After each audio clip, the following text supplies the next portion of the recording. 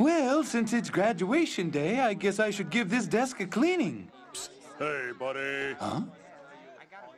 I got the perfect soap right here. Oh, the perfect soap!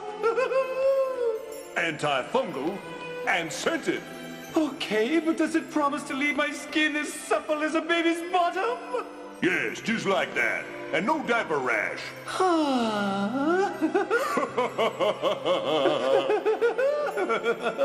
Get out!